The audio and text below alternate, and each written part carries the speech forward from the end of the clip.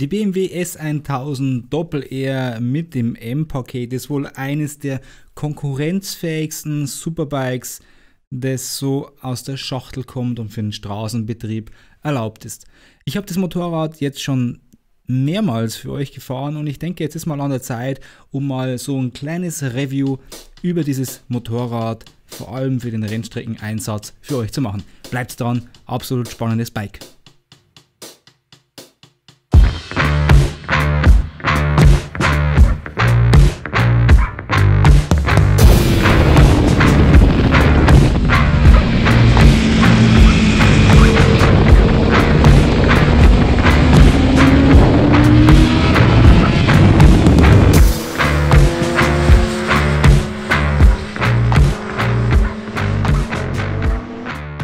Mit dem ersten Erscheinungsbild der BMW S1000 Doppel-R sprechen, dann ist es natürlich schon ein optisches Meisterwerk und mir gefällt sie tatsächlich besser als so manch anderes Motorrad, das ich so äh, schon gefahren habe.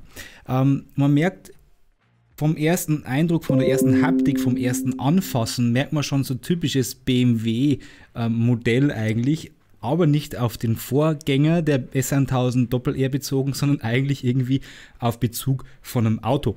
Also das ist tatsächlich so, wenn du die S1000 Doppel-R neu, äh, und die war neu, die hatte irgendwie 100 Kilometer oben, wenn du die anfährst, wenn du dich draufsetzt, dann riecht die, also wenn es ein Neuwagen wäre. Also das ist irrsinnig und auch die Menüführung und auch das ganze, die, ganzen Bedien, Bedienelemente, das gleicht schon fast mehr im Automobil als wie im Motorrad. Also wirklich strange, sehr futuristisch äh, und auch sehr komplex im ersten Moment, wenn man sich da ein bisschen so durch das Menü, äh, Menü äh, klicken muss und so die ein oder anderen Dinge sucht. Ich habe da gleich, natürlich habe ich da einen Rennstreckeneinsatz damit gemacht und habe den Luftdruck angepasst. Dann hat er gleich mal gemeckert, weil der Luftdruck nicht passt. Ist bestimmt ein tolles Gadget für die Straße wenn man hier Luftdruck verliert oder zu wenig Luft drin hat. Äh, ich war erstmal irritiert und wusste im ersten Moment überhaupt nicht, wo ich diese Meldung wieder wegkriege und war kurzzeitig geschockt und habe mir gedacht, na hoffentlich kann ich jetzt mit dem Motorrad trotzdem fahren. Also, das macht einen, einen sehr, sehr futuristischen Eindruck von, von, von alles, was du, von allem, was du anfasst, von, von der ganzen Menüführung, von der digitalen Menüanzeige. Das ist irrsinnig gut ist nicht komplex, aber auch. Ich denke, äh, ich kenne kein Motorrad, wo man sich so viel damit auseinandersetzen muss, dass man da mal durchsteigt. Ja.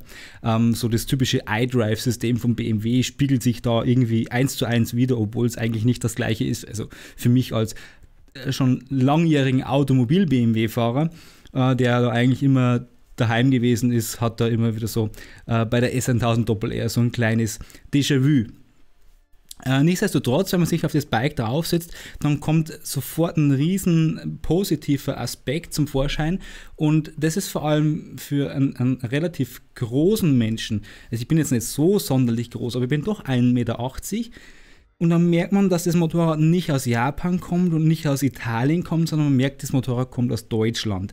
Und das, das merkst du einfach insofern, weil auch ein großer Mensch da sofort Platz findet.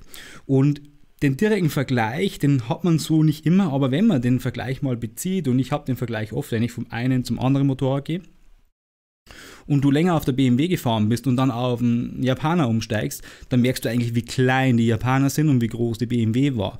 Was bei der BMW durchaus große Vorteile hat, aber auch kleine Nachteile, wo ich gleich drauf komme.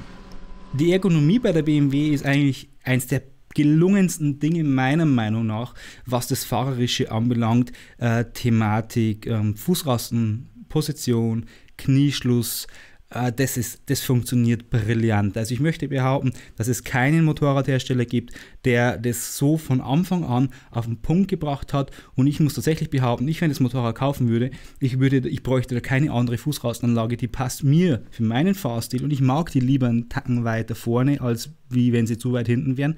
Mir ist das eh lieber.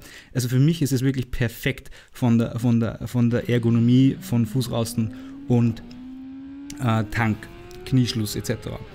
Ähm, auch die Länge des Motorrads macht es mir als relativ großen, naja, groß hin und her, äh, Fahrer sehr angenehm, auch auf, auf Geradeausstrecken bei hoher Geschwindigkeit finde ich wirklich schön Platz unter der Kanzel und und kann mich da wirklich auch frei bewegen auf dem Motorrad. Das heißt, ich stehe nicht hinten an, ich stehe nicht vorne an, ich kann mich da überall ein bisschen äh, darauf bewegen, wie ich das gern haben möchte. Das ist ähm, eigentlich schon selten. Das habe ich eigentlich nur, nur auf der Cover auch, aber auf der Cover nicht im Serienzustand, sondern hier im, im, mit Rennverkleidung. Da ist die Kanzel ein bisschen höher. Da habe ich das auch, dass ich da wirklich drunter verschwinden kann. Bei meiner Yamaha habe ich das Problem immer, dass ich da teilweise mit dem Kopf, mit dem Helm an der Kanzel anstoße und hinten mit dem Arsch schon am Heck anstehe. Die, die Yamaha ist halt doch um einiges äh, kleiner als die BMW oder als die Kawa. Ähm, hat alles seine Vor- und Nachteile. Kommen wir mal zum Motor. Motor ist irgendwie, man kommt sich ein bisschen vor wie auf einem Gummiband. Ähm, es ist jetzt anders wie bei der Kawa und es ist auch anders wie bei der Ducati. Es ist ein bisschen so fast schon gespenstisch, weil dieser Vortrieb teils der kommt auf einen Schlag, wenn du dort das Gas aufmachst, dann ist das Wumm, das ist da und es ist eigentlich völlig egal, in welcher Drehzahl. Also ab dem mittleren Drehzahlband schiebt der Motor an und es ist nicht so, als wenn es dann nochmal so einen Overboost geben würde, sondern es, es ist immer gleich. Ja. Man hat das Gefühl, man könnte eigentlich auch einen Gang höher fahren, habe ich dann auch viel gemacht, ähm, weil dann das Drehmoment teilweise dosierbarer wird und du konsequenter auf, auf dem Gas bleiben kannst. Das kannst du zum Beispiel mit der Carver nicht machen, weil die untenrum zu wenig Leistung hat.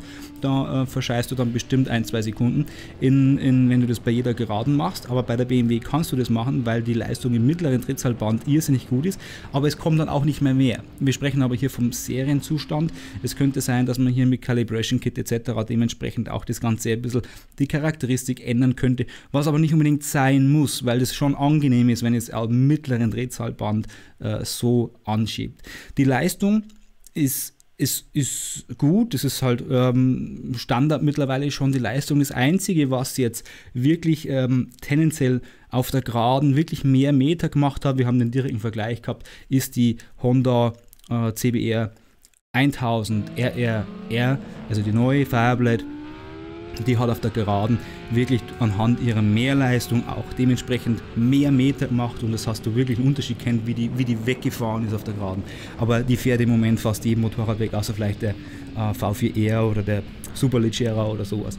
Ähm, also da möchte ich jetzt die BMW in einem, in einem, in einem ganz normalen Rahmen der Leistung einbauen. Wir reden vom Serienzustand und äh, das ist vollkommen ausreichend. Also Deswegen fahrst du nicht langsamer, nur weil du jetzt eine BMW hast und keine Honda Fireblade. Im Gegenteil, das hat auch seine Vor- und seine Nachteile.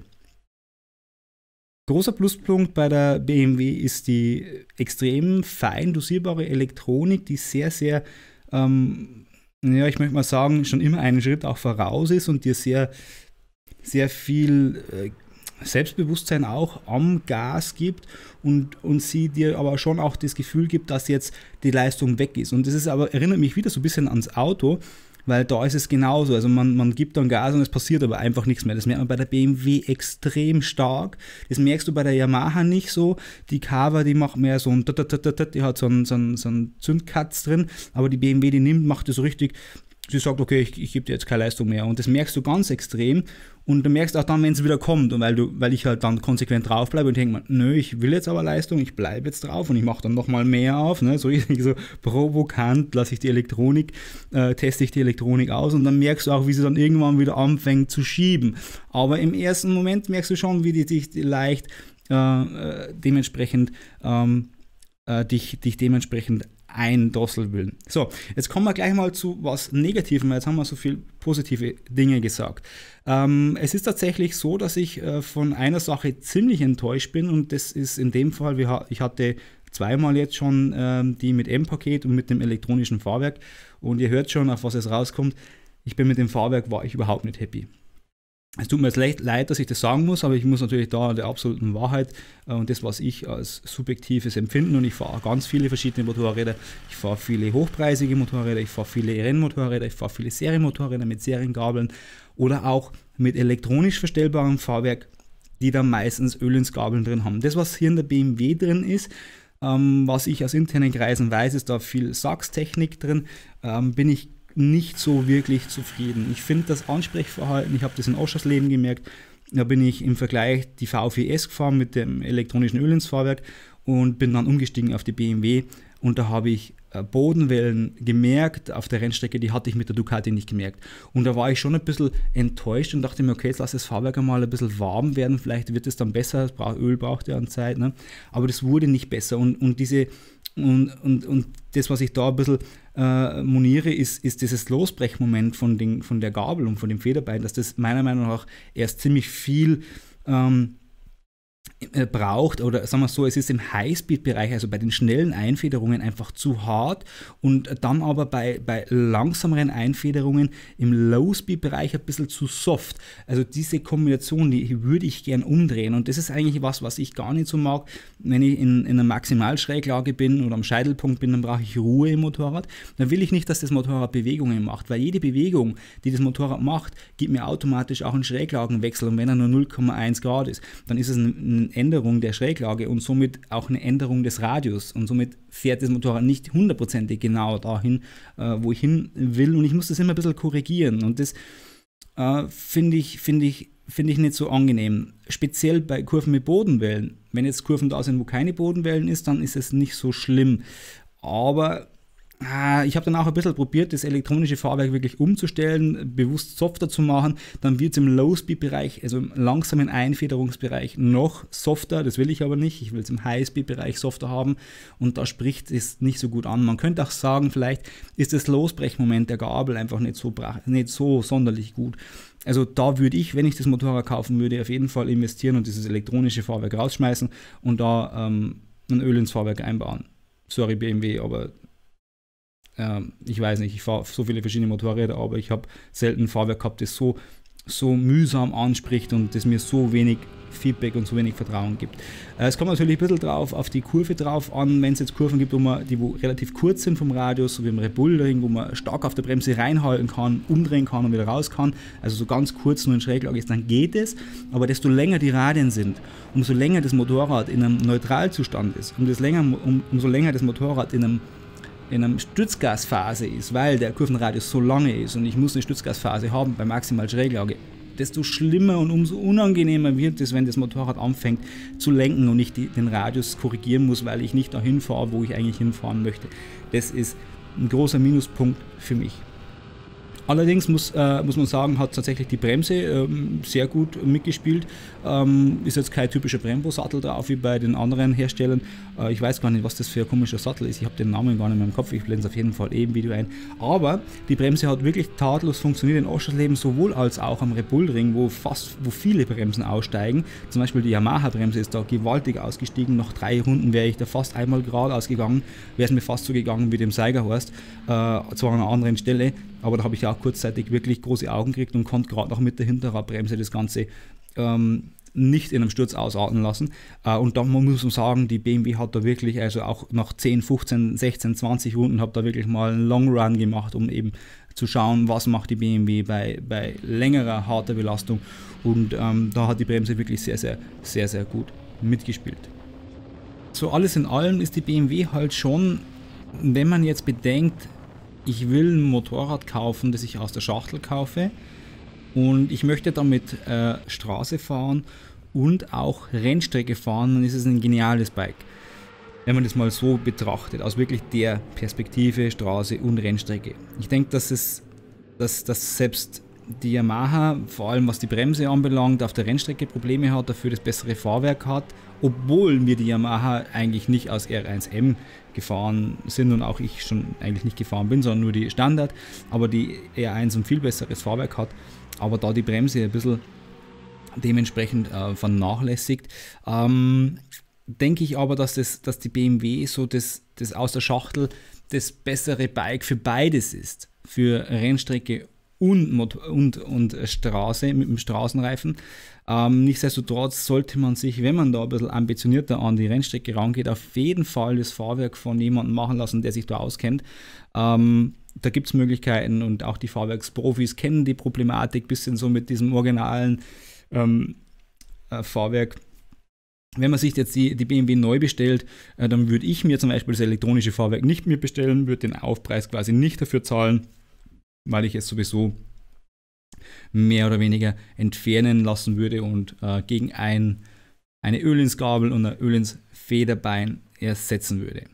So gibt es natürlich dementsprechend die Firmen, die darauf vorbereitet sind. Schon das Motorrad funktioniert ja jetzt gut, ist auch schon häufig in Betrieb auf der Rennstrecke, auch für den richtigen Rennstreckeneinsatz. Man sieht es ja auch in der Superbike WM, dass sie mittlerweile auch konkurrenzfähig sind, wenn wir uns den Tom Sykes anschauen haben sie zwar jetzt in Jerez leider einen technischen Defekt oder irgend sowas gehabt, aber vom Speed her sind sie eigentlich mittlerweile gut dabei und das auf kürzeste Zeit. Das zeigt eigentlich schon, dass das Motorrad und auch das Chassis ähm, sehr gutes Potenzial hat, um, um richtig, richtig schnell zu werden. Ich war positiv überrascht, negativ überrascht vom Fahrwerk. Ähm, summa summarum gebe ich hier auf jeden Fall eine Note 2. Ähm, geiles Superbike, das mir aus Großen relativ viel Spaß gemacht hat, auch auf zwei verschiedenen Rennstrecken. Und wenn das Ganze noch äh, mit einem anderen Fahrwerk äh, standardmäßig ausgeliefert werden würde, dann wäre es für mich schon so ein richtiger, boah, hm, so vor allem so aus Bayern. Ne? Also ich hoffe, das war ein bisschen interessant. Gebt mir gerne einen Daumen hoch für das Video, abonniert auch gerne den Kanal, falls ihr das noch nicht gemacht habt. Ich freue mich, wir sehen uns beim nächsten Video. Bis dahin und ciao.